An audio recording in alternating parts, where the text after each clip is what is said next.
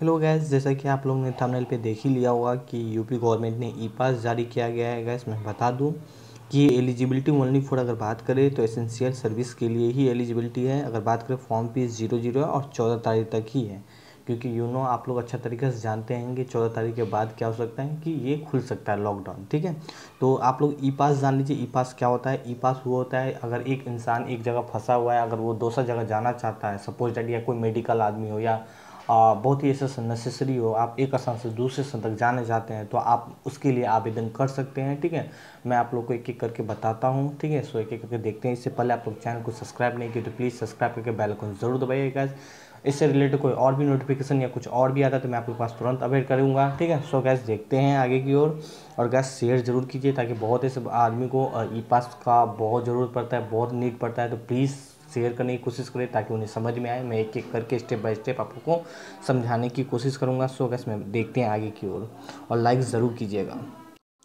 Gas सो आप लोग screen पे देख सकते हैं और एप्लीकेशन डेट का अगर बात करें यहाँ पे तो आप लोग मार्च से ये फॉर्म एप्लीकेशन पढ़ाना चालू हो गया। आप लोग जाके फॉर्म भर सकते हैं। मार्च से ये स्टार्ट हुआ था। कल ही शायद नोटिफिकेशन आया है मे बी बट ये लास्ट चौदह तारीख तक है, ये वैलिड और only for e pass lockdown period के टाइम में एप्लीकेशन फ़ी की बात करें ज़ीरो है। इसके अलावा आप लोगों को कुछ और भी प्रॉब्लम है तो आप लोग मुझे शेयर कर सकते हैं। बट हाँ काम की बात शेयर कीजिएगा, ठीक है? और कोशिश कीजिए शेयर करें ताकि काफ़ी आदमी तक पहुँच पाए, क्योंकि बहुत ऐसे इंसान अभी भी फंसे हुए हैं या बहुत ऐसे इंसान हैं जो नहीं जानते, जिसको नेसेसरी है। अगर ये बात करें एलिजिबिलिटी का बात करें तो आप लोग देख सकते हैं, ये एलिजिबिलिटी का है? एसेंशियल ये सर्विस एलिजिबिलिटी है, ठीक है?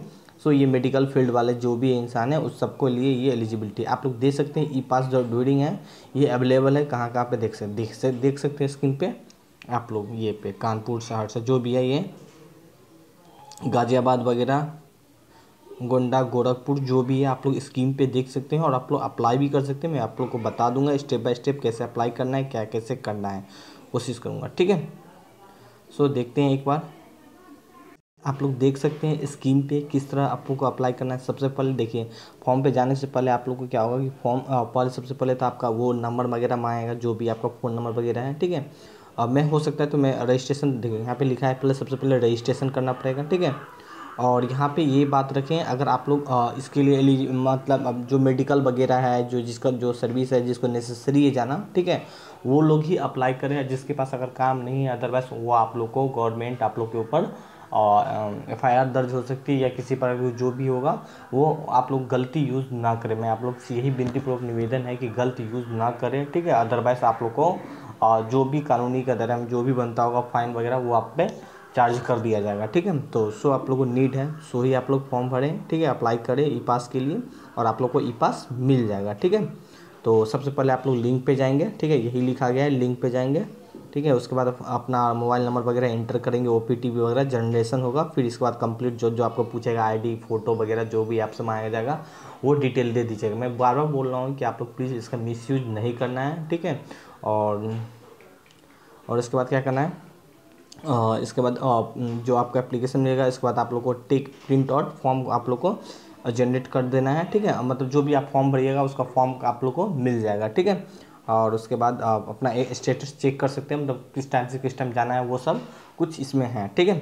सो एक बार जाते हैं एप्लीकेशन फॉर्म पे। गैस अभी सर्वर थोड़ा सा काम नहीं कर रहा है एक्चुअली है क्या? तो मैं बताता हूँ बार बार कि थोड़ा सा यूपी बिहार का सर्वर थोड़ा सा आ, ये प्रॉब्लम होता है। सो आप लोग उसको काम करेंगे रात में अप्लाई करने की कोशिश करेंगे ठीक है गैस सो यही मुझे बताना था अगर आप लोग अदर स्टेट से भी हैं सो आप लोग जान सकते हैं। आ, इसी तरह अदर स्टेट का भी सुविधा आप लोग थाना वगैरह से बना सकते हैं ठीक है? so guys thank you. Bye bye. Have a nice day.